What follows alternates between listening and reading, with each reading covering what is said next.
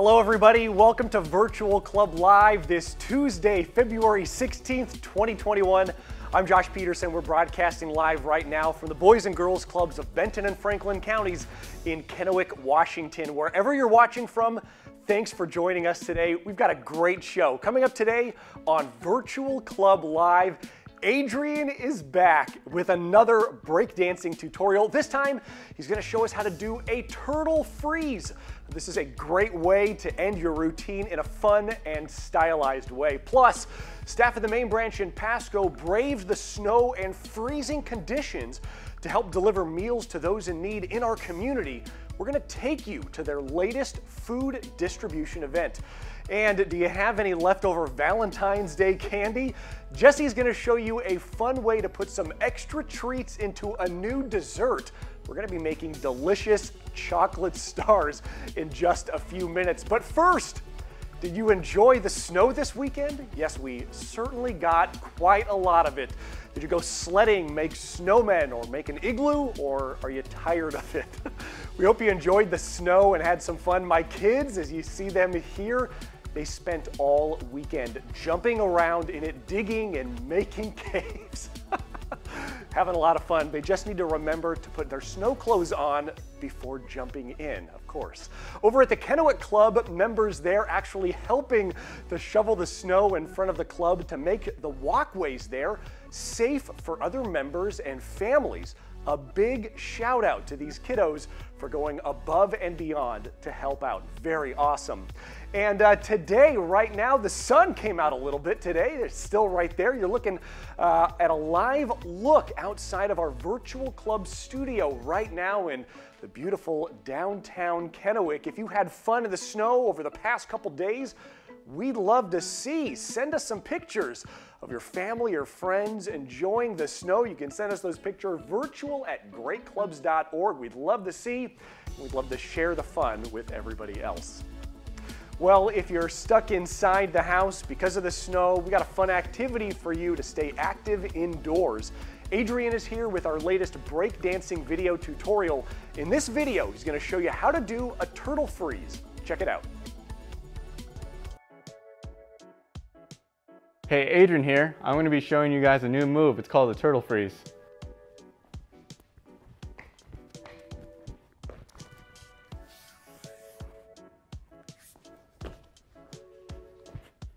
Now let me break it down. So you're gonna go on the floor and you can start on your knees or your feet, whatever is comfy. You're gonna take this arm and you're gonna find a good spot on your right side for me, it's my right arm. If you're left-handed, right with your left hand, it's gonna be on the left side. Since I'm right-handed, you'll see me put my arm on my right side all the time. Okay, so now you can kind of see this is above my belt. It's like a comfy position for me. You're gonna have to go through trial and error to kind of find that sweet spot to where it doesn't hurt. So, you're gonna start off in a push-up position with your legs spread. You're gonna put this elbow on your right hand in that location we were talking about. You're gonna go ahead and go down. Now, I know you're all familiar with the teeter-totter. So my head is the end of a teeter-totter. My feet are the other end. My head's gonna go down, my feet will go up.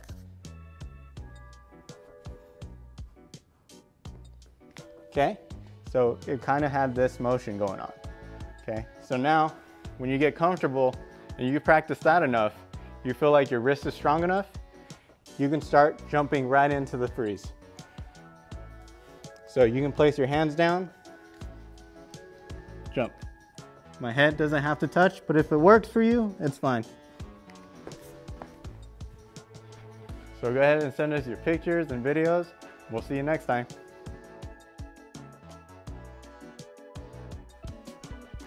Thanks, Adrian. That video is actually our 14th breakdancing tutorial. You can check them all out on our website. Just visit greatclubs.org slash virtual club. Very cool.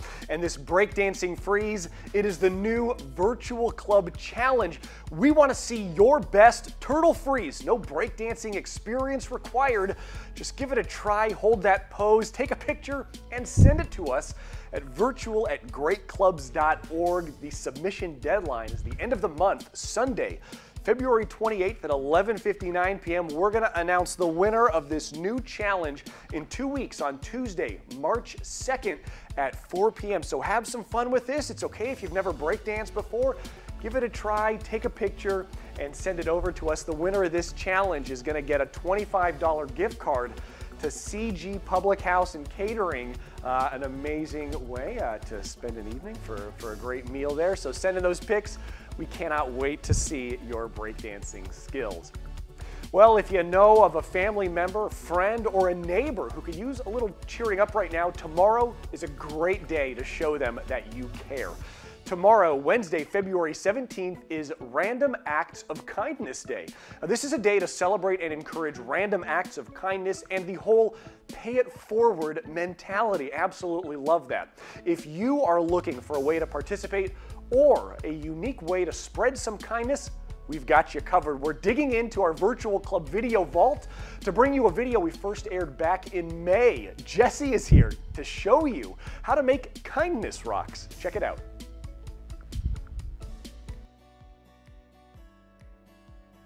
Everybody, it's Jesse again, and so just wanted to talk to you guys about a really cool project that you can do to help bring some kindness and joy to your neighborhood and the people around you during this uh, difficult time. So have you guys seen this thing about kindness rocks? What they are is people are collecting rocks, normally out of their yards and stuff like that, they're washing them and then they're painting them and they're creating these really cool designs on them. And you can create whatever you want then they are taking them around their neighborhoods and they're hiding them for people to find, kind of like a scavenger hunt. And you can hide them in anywhere you want, mailboxes, you know, for our mailmen, maybe in somebody's yard, up on their steps, something that will just brighten someone's day as soon as they find it. And so they're really fun and easy to do and pretty simple. All you need is rocks and some paint. Now you're gonna wanna use basic acrylic craft paint just because any tempera or water-based paint like that will come off the rocks and you don't want that to happen. And so using your rocks and your paint, you get to be as creative as you want, make whatever kind of designs. And if you wanna come back in with like Sharpie markers like we did here, after it's all done and write words of encouragement and kindness words, you're more than welcome to. So I would love to see your guys' rock collections. So start painting some rocks, take pictures of where you're hiding them and let's see if we can find them and let's share some share some awesome kindness and words of encouragement throughout the Tri-Cities. All right, guys, love you all and we will talk to you again soon. Bye. All right, thanks for that project, Jesse. A great reminder and a great way to spread some kindness tomorrow or any day of the year. We're going to take a quick break. When we come back, we're heading to the Pasco main branch where staff there braved the snow to deliver boxes of food to families in need. Stay with us. The future is uncertain for millions of young Americans facing a competitive job market. Additionally, businesses are reimagining how they work and serve their customers. How can young people prepare to meet the workforce challenges of tomorrow? They need safe spaces and positive mentorship today. That's where Boys and Girls Clubs of America come in to level the playing field and help our youth stay on the right path in the midst of change. Mentors and activities help develop essential skills like communication, creativity, and critical thinking. Club experiences spark interest in careers related to STEM, business, the arts, and more. Together with our partners, clubs empower teens to explore volunteerism, extracurriculars, and certifications in their communities. They can even access financial literacy programs, internships, and local jobs. Boys and Girls Clubs of America is developing today's youth into tomorrow's leaders, innovators, and problem solvers, ready to not only meet challenges, but exceed all expectations. Learn more about our workforce readiness programs at bgca.org/workforce. Welcome back. Black History Month continues, and the Boys and Girls Clubs of America continues to highlight the history of black people across the club movement. That includes notable alumni and young people continuing the legacy of black achievement The national organization is shining a light on these amazing people all month. We've got three amazing people to highlight today, starting with Denzel Washington, who was the first African American to win multiple Academy Awards. Uh, before Denzel was known for his acting, he was a club kid attending the Boys and Girls Club of Mount Vernon in New York. Very cool. Ruth E. Carter was the first African American to win an Academy Award for costume design for the film Black Panther. Drawing pictures was one of the many activities Ruth enjoyed while attending the Springfield Family Center Boys and Girls Club in Massachusetts. And NFL referee Mike Carey, the first African American to lead an officiating crew in a Super Bowl. Mike joined the William J. Oaks Boys Club in California when he was eight years old. Absolutely amazing. To learn more about these incredible stories and highlights, visit bgca.org. Well, it's time now for one of my favorite parts of our weekly show clubs across the country. Get in the car, train, put your rollerblades on, or get in the airplane. We're heading first to Nebraska.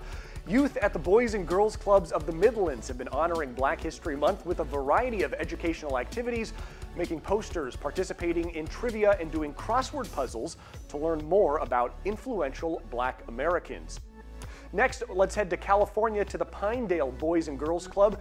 Youth there received an amazing donation. Comcast stepped up to provide youth with computers so they can do their schoolwork and continue on their journey of achieving academic success.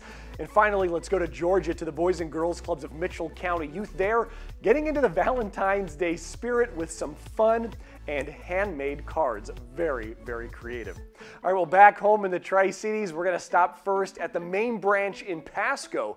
Staff members there, they braved the snow and the freezing temperatures last week for a drive-through food distribution event. They handed out boxes of food to families in need outside the club. The turnout was a little lower than they anticipated because of the snow, but that did not stop these amazing staff from handing out meals. Some staff loaded up the vans to take food to families who stayed home. Absolutely incredible. Over in Prosser, our club there completed a big renovation project of their kitchen. You're seeing the before picture here. Now the after picture, an amazing transformation of their kitchen. A special thank you to Danny King at Eastside Market for stocking the newly renovated Teen Center kitchen with supplies. And back in Pasco, teens at our main branch there learning about the importance of values in their latest leadership program session. Teens said empathy, respect, loyalty, and honesty are core values that resonated with them the most. We're going to continue the local focus at the Kennewick Club. Youth there working on their artistic skills as they created some fun Valentine's Day themed art. Lots of painting and creativity. Really nice work. And in more Valentine's Day fun, kiddos at the Club Discovery Preschool in Pasco also having the fun. They made these neat heart-shaped bracelets out of pipe cleaners and Froot Loops look fun and delicious. And preschool kiddos at our Columbia Basin College site also having some Valentine's Day treats there. They made their own personal pizzas. I love that. And they got to eat them as a snack. Really cool. All right, well, finally, in local updates, we want to highlight an amazing club youth at Maya Angelou Elementary in Pasco. Janessa is making and selling masks and scrunchies to raise money for foster kids. She's put together a business plan for her handmade shop called Kid for Kid.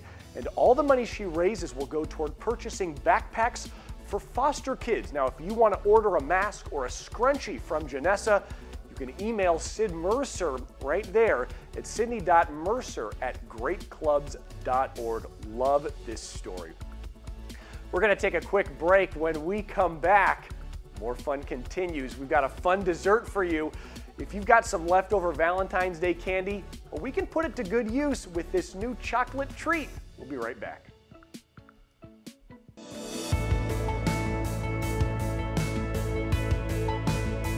Today's world is really driven by technology. You see it everywhere. Without having the knowledge to use it, you are really missing out on a lot of opportunities.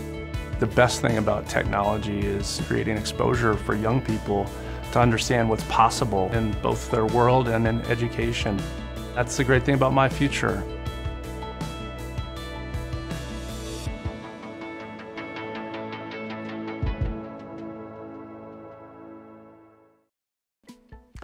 Welcome back. Valentine's Day may be over, but do you have any leftover Valentine's Day candy? I know we do at my house. Well, Jesse is here to show you a fun way to put some extra treats into a new dessert called Chocolate Stars. Check it out. Hi everybody, I'm Jesse and I'm so excited for you to join me today as I make a fun chocolatey treat with you.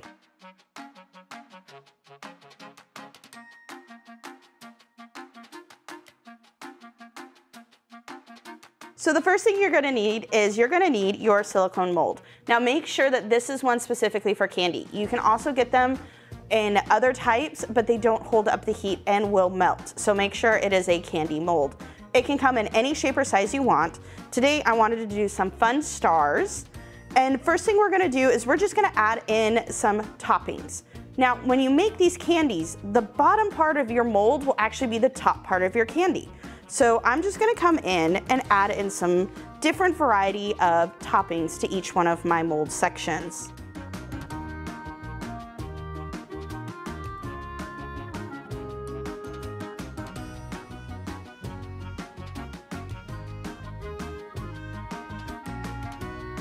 All right, once you have all your candy sprinkles and toppings put into your mold, next you're gonna take your candy melts and put them into a microwave safe bowl. I'm gonna microwave these first at 30 seconds, give it a good stir, and then continue for 15 seconds, stirring in between until they are 100% totally melted. I'm gonna go ahead and use probably about half of this bag.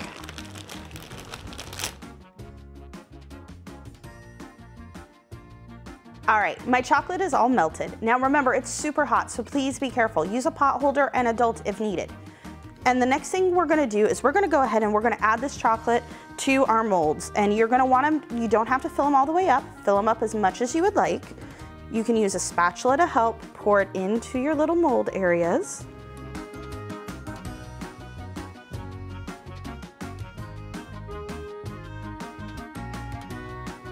All right, once you have your chocolate all in your mold, just go ahead and take your mold, give it a good little shake, a little tap, just like that.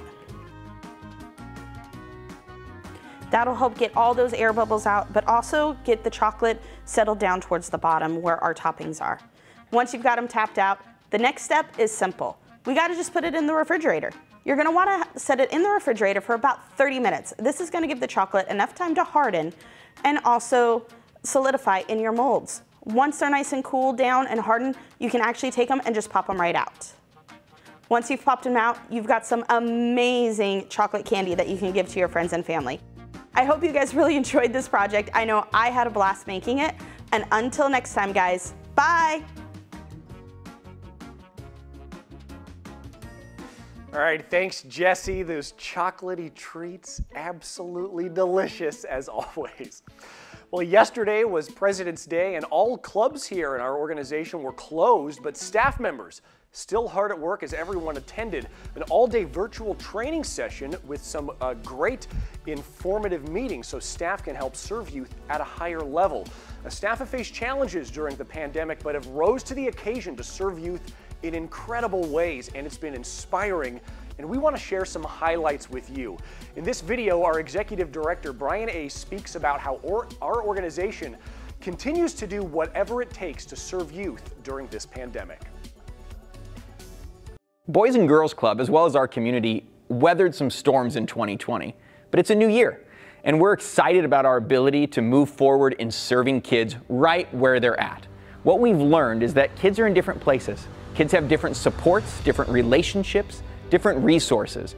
The number one job of clubs is to meet kids where they're at, to learn who they are, to get to know them, to encourage them, and then to help them move towards a brighter future. That is our work in 2021. As COVID continues in our community, we move forward in serving more kids every day. Our clubs are open. They're there to meet the needs of kids and to meet the needs of families. And we're always looking for ways to serve kids better during the pandemic. Every day, kids are in club learning. They're in club growing. They're in club being encouraged. That is our work right now to help them reach their great future. And it's happening every day at our clubs. I think our community wants healthy young people. healthy young people that are ready to contribute and give back. But one thing we know, especially in light of our mission, is that we're here to serve all young people, but especially those who need us most. Our job right now is to provide more attention, more resources, more time, more relationship, more encouragement to those young people who need us most. And by doing that, we're going to ensure that there's equity for those kids that we serve as we come out of the global pandemic. So I was on a walk yesterday with my kids, and I ran into somebody as we were out walking. We started talking. And at the end of this conversation, they said, Thank you for all that you're doing to serve kids in our community. And I had to respond back and say, I didn't do anything. But we have a team of staff members who did. And that is amazing to be able to share with our community that since day one, not a week off, not a month off, not two months off, since day one, our staff responded creatively to meet the needs of kids. There is a fire, and that fire was COVID 19. And they didn't run away from that fire. They didn't just stand outside and call for help. They went in to individually rescue kids and make a difference in the lives of those that needed it most in our community. It makes me incredibly proud to know specific staff members, specific staff stories that inconvenienced themselves personally, stretched themselves personally in order to serve kids. And lives are changed because people were willing to run into the fire rather than run away from it.